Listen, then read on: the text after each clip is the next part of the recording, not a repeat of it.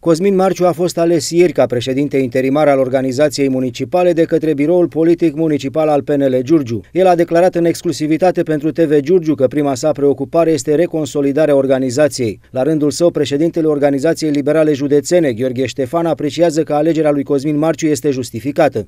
După tot ce, ce s-a întâmplat în Partidul Național Liberal, primele mele gânduri ar fi de uh, liniște, să nu mai fie loc, uh, să nu mai aibă loc discuții, toată lumea să înțeleagă că trebuie să fim și să facem o echipă, numai așa putem câștiga, iar ca organizare aș vrea să înțeleagă toată lumea că uh, fiecare trebuie să uh, fie omul potrivit la locul potrivit.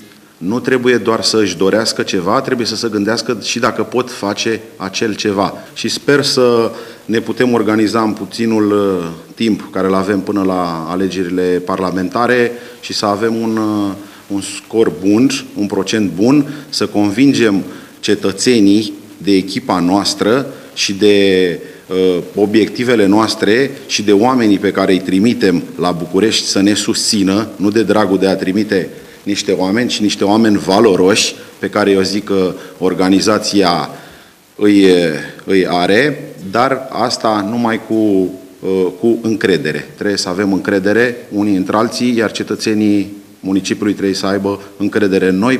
Alegerea s-a bazat pe mai multe, să spun, criterii sau aspecte logice. În primul rând, uh, așa cum am spus, e tânăr, vine din organizația PNL, nu a fost traseist, uh, mi-a demonstrat în urmă cu două săptămâni atunci când uh, i-am solicitat să renunțe la calitatea de consilier județean pentru a putea urca pe listă un consilier din uh, uh, Ulm și unul din uh, uh, Roata, că sunt localități mari și trăiesc întărite organizațiile, a acceptat propunerea mea și a renunțat la calitatea de consilier județean și, practic, uh, cu chestia asta și-a câștigat aprecierea și încrederea mea în el. Alegerea lui Cosmin Marciu a fost votată în unanimitate de membrii biroului politic municipal. De altfel a fost singura propunere pentru funcția de președinte interimar pe municipiu al organizației PNL.